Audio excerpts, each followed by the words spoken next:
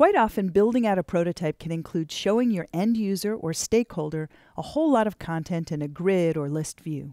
Although your design is not changing, just simulating the images and text can be incredibly tedious. This is where the Repeat Grid feature at Adobe XD really allows you to design at the speed of thought. Here in step 5, what I want to do is make a list, or repeat these adventure posts down my screen. I'll begin by switching back to design mode and then clicking on this first post. This post consists of an image on the left and some text on the right that have been grouped together. With the object selected, I'm going to come to the panel here and click on the repeat grid icon. Notice when I do that, that the item here on the canvas has a green dotted line with two control handles. This represents the grid that I'm working with. What you'll also notice is that I now have a handle on the right and the bottom.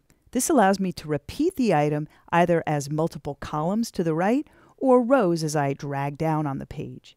I want to have a list of three additional items, so I'm going to select the bottom selection handle and press and drag down until I get all four of the individual list items that I'm looking for.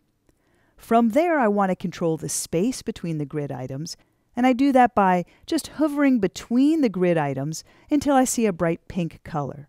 From there, I can press and drag to reduce the space between each of the grid items until I like it for my design.